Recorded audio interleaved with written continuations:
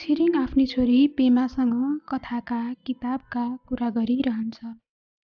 एक दिन ऊ छोरीलाई भन्छ पढ्नुपर्छ अक्षर चिन्नुपर्छ। हिउँ परेको बेला आकाशबाट हिउँमा मिसिएर अक्षरहरू पनि खस्छन्। तिनै अक्षरहरू मिलेर किताब बन्छ।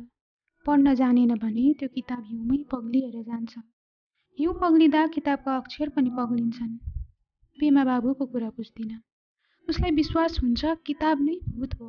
यसले तर्साउँछ मती बिगार्छ। यसैले त हो उसको आमा बुवाको सम्बन्ध बिगारेको।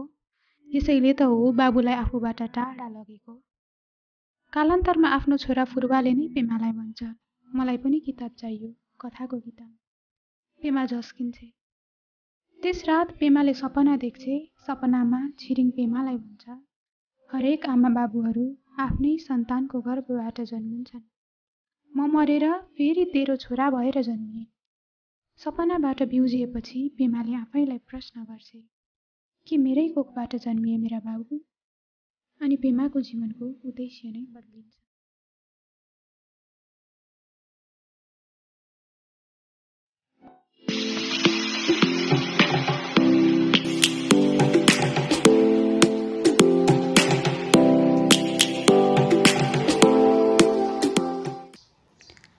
नमस्कार।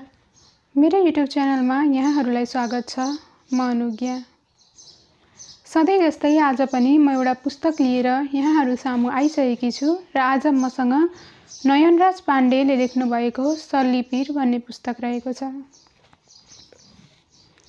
आज हामी यही पुस्तकको विषयवस्तुमा केन्द्रित रहेर केही कुराकानी गर्न चर्चा गर्न लागिरहेका छौँ। सल्लिपिर एउटा उपन्यास हो र यो उपन्यासमा हिमाली भेगमा बसोबास गर्ने मानिसहरूको जीवनशैली उनीहरूले भोगेका दुःख पीडा अनि उनीहरूको चालचलन संस्कृति अनि जीवनशैलीकै बारेमा धेरैजसो कुराहरू हामी यो पुस्तक पढेपछि बुझ्न सक्छौँ। र यो उपन्यास भएको हुनाले एउटा मुख्य पात्र पेमा भन्ने मुख्य पात्रको कथा हो यो। उनको सानै छँदादेखिको बाल्य अवस्थादेखिकै कुरालाई बिस्तारै उठान गरेर लेखकले उनको विवाह भएपछिको कुरा अनि उनको उनको श्रीमानको अनि उनी जब विवाह गरेर जान्छन् तब त्यहाँका केही घटनाहरू र पछि उनको छोरा भएसम्मका कुराहरू चाहिँ यो पुस्तक मार्फत लेखकले हामीलाई बताउन खोज्नु भएको छ। र यो उपन्यास पढ्दै जाने क्रममा सबै कथावस्तु पेमाकै वरपर घुम्छ पेमा भन्ने पात्र उनको बाल्यकालदेखि सुरु हुन्छ। बाल्य अवस्थामा उनको एउटा साथी हुन्छ अनि त्यो साथी र पेमाले चाहिँ बाल्यकालमा त्यो आफू कसरी जन्मिएको भनेर एकअर्कालाई प्रश्न गर्छन् अनि पेमाको साथीले एक खालको जवाफ दिन्छ अनि पेमाले आफैले आफ्नै आफै बनाएर एक खालको जवाफ दिन्छन् किनभने उनको बाबु र आमाको सम्बन्ध चाहिँ त्यति राम्रो हुँदैन र त्यो त्यस्ता खालका कुराहरू पढ्दा अलि रमाइलो लाग्छ। कतै कतै भावुक पनि भइन्छ। र यसरी नै बाल्य अवस्थाका कुराहरू उनीहरूको बाल्य अवस्थाका कुराहरू यसमा उल्लेख गरिएका छन् अनि पेमाको बाबुलाई चाहिँ पढ्न एकदमै मनपर्ने हुन्छ। तर पेमाको स्मृतिमा आफ्नो बाबुको चित्र त्यति मजाले चाहिँ हुँदैन। बाबुले उनलाई सुनाएको कथाहरू पनि यो किताबको एउटा महत्त्वपूर्ण नै पक्ष हो। बा पेमाको बाबुले पेमालाई सुनाएका कथाहरू चाहिँ पेमाको स्मृतिमा मजाले बसेका हुन्छन्।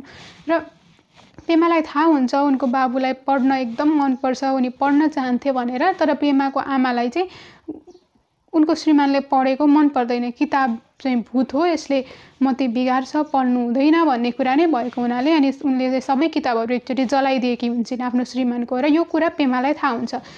त्यसै गरी अनि पेमालाई यो कुरा थाहा भएको हुनाले उनको पनि दिमागमा कतै किताब पढ्न हुँदैन भन्ने खालको कुराहरू खेलिरहेको हुन्छ। अनि पछि पेमा आफ्नो मामा घरमा बस्छिन् र त्यहाँबाट नै उनको विवाह हुन्छ अनि विवाह उनको दावा भन्ने अर्को पात्रसँग विवाह भएको हुन्छ र विवाह भएर गइसकेपछि चाहिँ पेमाको जीवनमा के कस्ता परिवर्तन आए त? अब विवाह भइसकेपछिको जीवन अलिक फरक त हुने नै भयो र विवाह गरेर गइसकेपछि नयाँ परिवेश नयाँ गाउँमा उनले आफूले कसरी जीवन अगाडि बढाइन् त?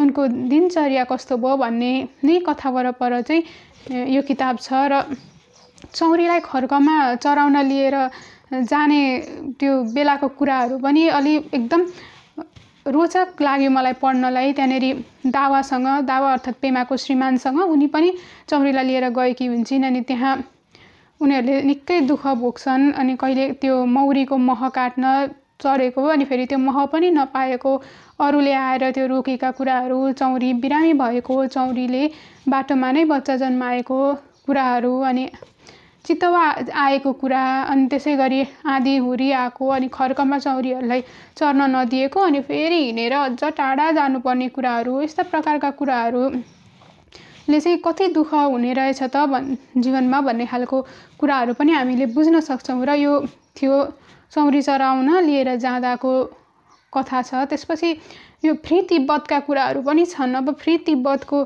कुराहरू पनि यसमा अलिअलि गरिएको छ अनि माओवादी द्वन्द्वकालको बेलाको कुराहरू पनि हामी यसमा पढ्न सक्छौँ। अब यी कुराहरू चाहिँ कसरी यो क किताबको विषयवस्तुसँग जोडिन आइपुग्छन् त? पेमासँग कसरी यो फ्री तिब्बतका कुराहरू अनि माओवादीको द्वन्द्वकालको बेलाका घटनाहरू कसरी यहाँ जोडिन आइपुग्छन् भनेर जान्न चाहिँ हामीले एकपल्ट यो पुस्तकै पढ्नुपर्ने हुन्छ। त्यसै गरी सगरमाथा चढ्न गएका कुराहरू यो पेमाको जीवनमा चाहिँ एकदम धेरै कुराहरू आउँदै जाँदै गर्ने क्रम हुन्छ।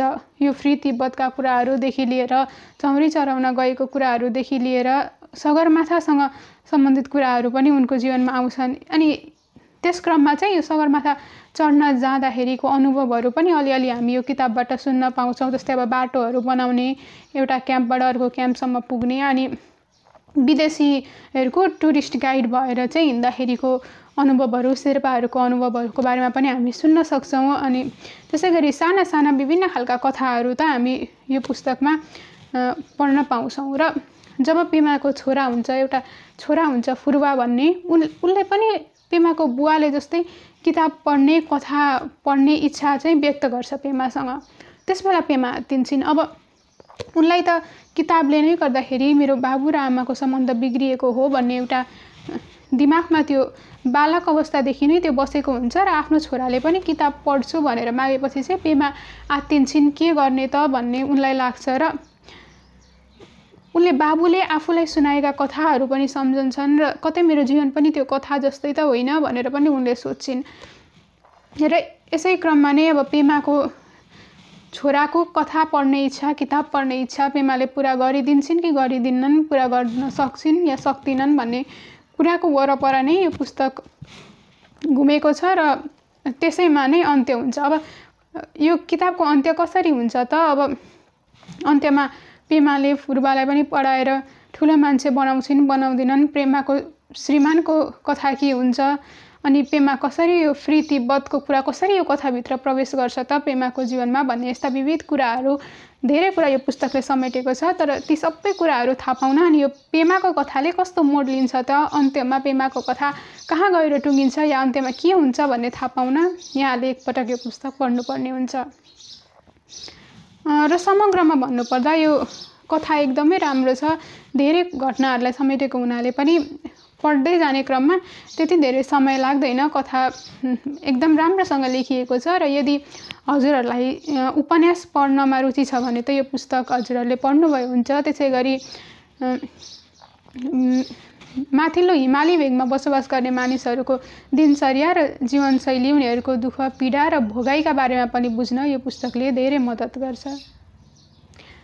र यति भन्दै आजलाई म नयनराज पाण्डेले लेख्नुभएको सल्ली भन्ने पुस्तक लिएर यहाँहरू सामु आएकी थिएँ र यो पुस्तकको बारेमा मैले यति नै कुरा गर्न चाहेँ। अब छिट्टै नै फेरि अर्को पुस्तक लिएर म आउने नै छु। त्यतिन्जेलको लागि मलाई बिदा दिनुहोला र यहाँहरूले यदि मेरो युट्युब च्यानललाई सब्सक्राइब गर्नुभएको छैन भने एकचोटि सब्सक्राइब पनि गरिदिनु हुन मैले अनुरोध गर्न चाहेँ। धन्यवाद।